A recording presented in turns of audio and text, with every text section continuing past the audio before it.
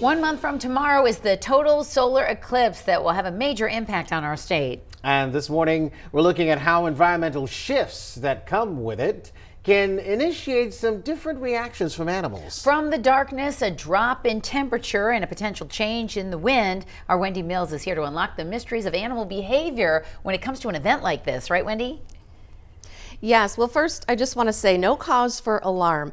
But full service pet store Country Max says it is getting a bunch of calls from people asking about what, if anything, they need to do for their pets or any outdoor animals during the total solar eclipse, April 8th. So here you go.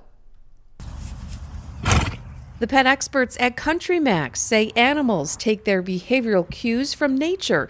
So, sure, some might act a little wonky, you could say. But let's start on the farm. The darkening sky during a total solar eclipse is like a signal that it is bedtime. Horses will probably head to the barn and call it a day. Okay, chickens, who knew? Country Max says they have poor vision at night, so will likely settle into their coops to roost because they think it'll be nighttime. This one is for the birds, and yes, you will definitely hear the birds chirping.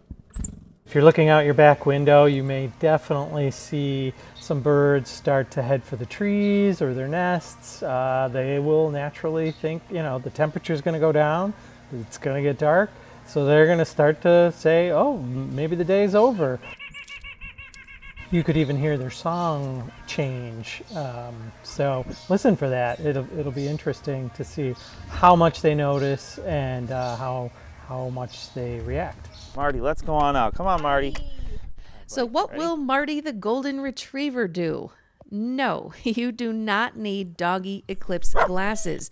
Uh, dogs take their cues from humans, so they are not going to look at the sun. They're too busy sniffing around or playing fetch to notice. But they could get anxious, so best to leave them at home and inside.